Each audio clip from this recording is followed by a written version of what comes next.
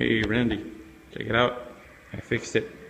You you can sleep now. It's all good. Ready to shoot my client Monday. Well, I think Monday's the day off, anyways. At the beginning of the week. Awesome.